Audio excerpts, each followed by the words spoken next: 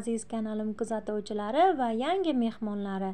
Bugun men sizlarga yana bir yangi retseptni tayyorlab ko'rsataman. Yuz terisini yoshartiruvchi ajoyib niqob retsept. Bu niqob soda va oddiygina xamirturush ya'ni quruq xamirturush yordamida tayyorlanadi. Ya'ni bu ikki mahsulot bugungi retseptimizning asosiy tarkibiy qismi hisoblanadi.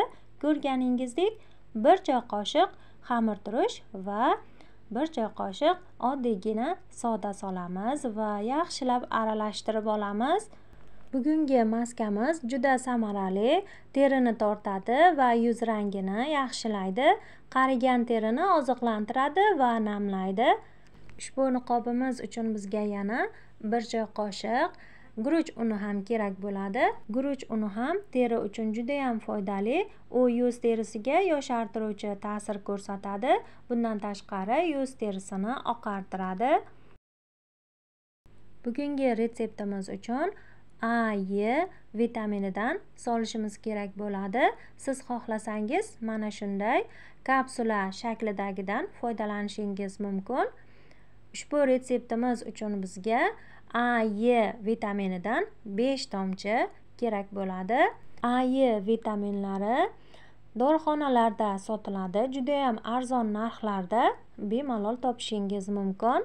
Azizlar shu o'rinda video ostida layk tugmasini bosib qo'ying. Bu kanalimiz rivojiga yordam beradi. Buning uchun sizlarga avvaldan rahmat aytaman. Bugungi retseptimiz uchun bizga mineral suv ham kerak bo'ladi. Siz xohlasangiz mineral suvning o'rnida sutdan yoki oddiy suvdan ham foydalansangiz bo'ladi. Endi barcha mahsulotlarni yaxshilab aralashtirib olishimiz kerak bo'ladi. Keyin shu o'rinda yaxshilab e'tibor qarating. Mana shu aralashtirayotgan paytimizda erinmasdan yaxshilab bir xil massa hosil bo'lgunicha aralashtirish zarur bo'ladi. Chunki qancha ko'p aralashtirsangiz niqobning samaradorligi yanada ortadi. Mana niqobimiz tayyor. Endi siz bu niqobni surtishdan oldin yuzingizni tozalab olishingiz kerak bo'ladi. Keyin esa suv hammomiga bug'iga tutishingiz kerak yuzingizni. Keyin ushbu niqobni surtasiz.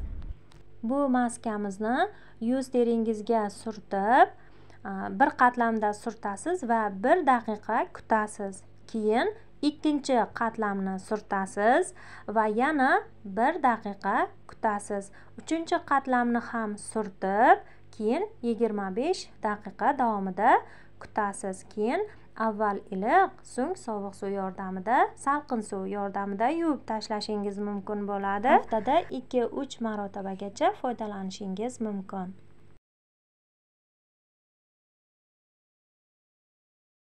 Bugun men sizlarga yuz terisini yoshartiruvchi ajoyib bir niqob retseptini tayyorlab ko'rsataman.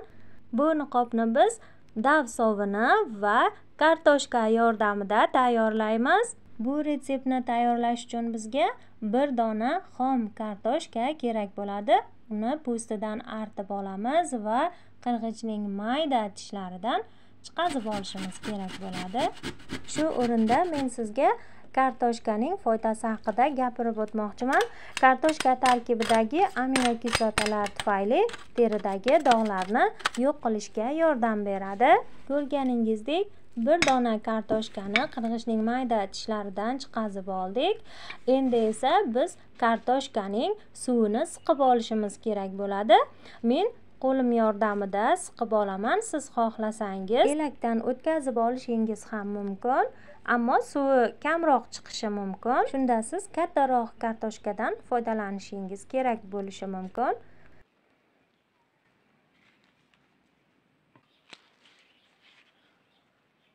Mana kartoshkamizning suvini chiqazib oldik. Endi bizga dav sovuni kerak bo'ladi. Krem sovundan dav krem sovunidan foydalanasiz.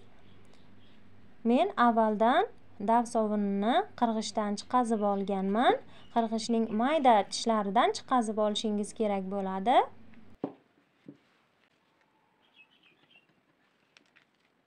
Endi biz dav sovunidan bir osh qoshiq miqdorida kartoshka suviga solamiz va yaxshilab aralashtirib olamiz.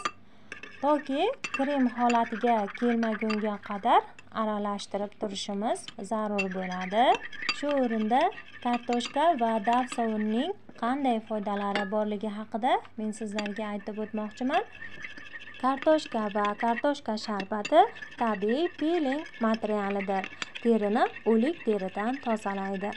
Kartoshka tarkibidagi aminokislotalar tufayli teridagi dog'larni yo'q qilishga yordam beradi. Antioksidant xususiyatlari tufayli teridagi yaralarni tezroq davolashga ham yordam beradi. Dav sovuni esa terini yumshatadi terini oziqlantiradi. Bundan tashqari terining deformatsiyasini yaxshilaydi. Shuningdek terining namlik va yog' balansini tartibga soladi. Stressni kamaytiradi va teridagi mikroblarni yo'q qiladi. Ushbu retseptni siz haftasiga uch kun qilishingiz mumkin. Ushbu niqobni tozalangan yuz terisiga surtasiz va besh o'n daqiqa kutib turing. Keyin iliq suv yordamida yuvib tashlang.